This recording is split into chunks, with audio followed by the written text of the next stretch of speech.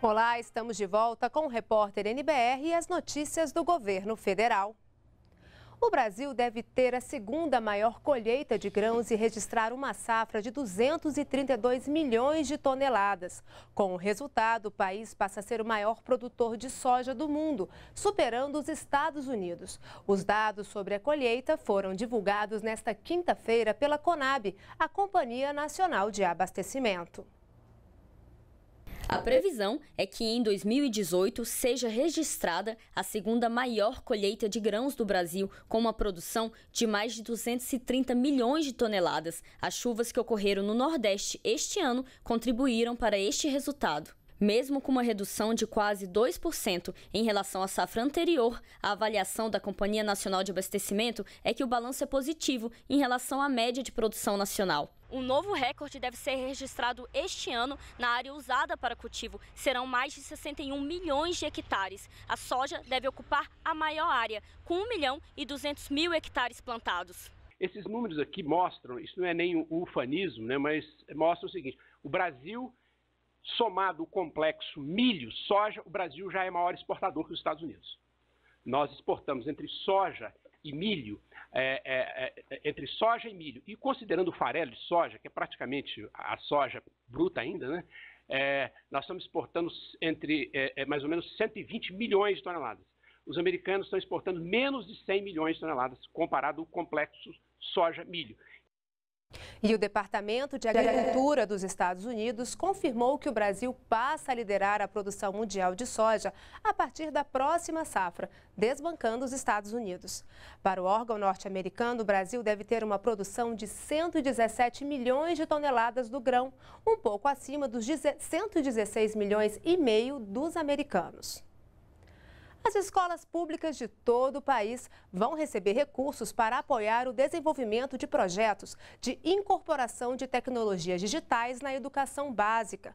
Um investimento que agrada aos professores e também aos alunos. É na internet, no laboratório de informática de uma escola pública de Brasília, que a Milena aprimora o que aprende na sala de aula. Tudo que a gente aprende em sala nem sempre fica muito na memória. Normalmente a gente vai na internet, no YouTube, pesquisar. Então a internet é muito importante para o nosso estudo. Já para Flávio, o laboratório de informática é fonte de conhecimento. Eu acho sim importante é, essa o laboratório de informática acaba diminuindo a ponte entre o aluno e o conhecimento. E o professor deles concorda. A tecnologia é muito útil.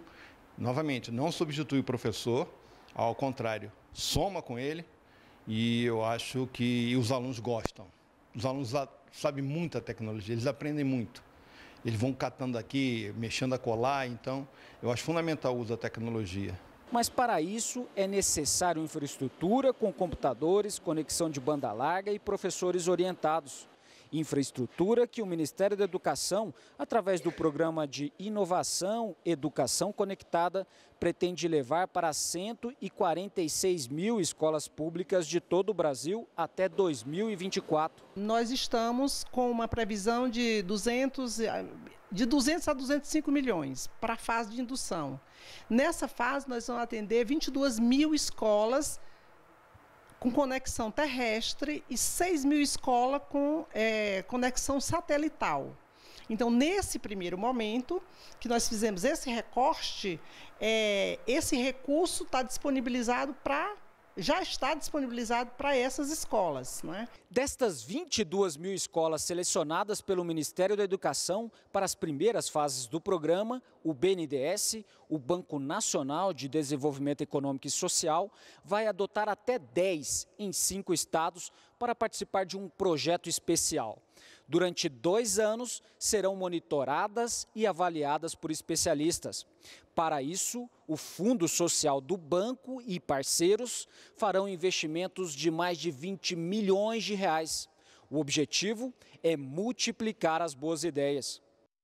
Os estados que aderiram ao programa do MEC devem apresentar as propostas e projetos até o dia 15 de maio.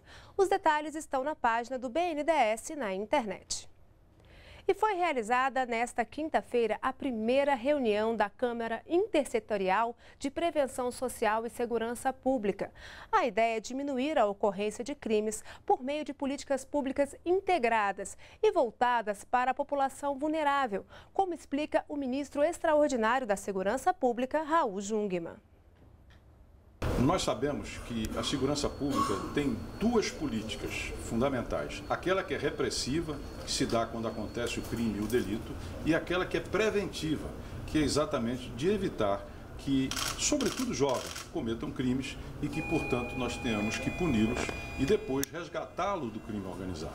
Aqui reunimos todos os ministérios e traçamos uma política muito clara. Nós estamos dando rumo à segurança pública do Brasil. Primeiro, o grupo a ser focado são os jovens de 15 a 24 anos em situação vulnerável. Situação vulnerável quer dizer sem escola, sem emprego e com família desestruturada. E em segundo lugar, segundo dados do IPEA, metade dos homicídios, 61 mil homicídios que ocorrem no Brasil anualmente, metade deles estão em 2% dos municípios, ou seja, em 109 dos municípios brasileiros. Qual é a nossa ideia? Convergir saúde, educação, assistência social, cultura, esportes para esses municípios, que têm metade dos homicídios, mas voltados, sobretudo, para a juventude vulnerável, para que eles não sejam atraídos e levados para o crime e que a gente possa mantê-los ao nosso lado, ao lado da sociedade, trazendo, evidentemente, futuro para eles e também um futuro de mais sossego e mais tranquilidade para todos os brasileiros e brasileiras. O ministro também falou sobre a intervenção federal que está em curso no Rio de Janeiro. Segundo Raul Jungmann, é um trabalho complexo que reúne várias ações feitas pelo governo e que com certeza trará resultados para a população. As medidas saneadoras estão sendo tomadas e elas vão apresentar resultados. É preciso ter confiança e entender que está no rumo certo e que nós vamos ter redução, sem sombra de dúvida, de violência e de insegurança no Rio de Janeiro proximamente. Quando isso vai acontecer? Quando germinarem o resultado das ações que estão sendo feitas, inclusive refundando praticamente as polícias do Rio de Janeiro, treinando, ampliando o pessoal, equipando, reestruturando o sistema prisional, carcerário no Rio de Janeiro, que estava um caos, e assim por diante.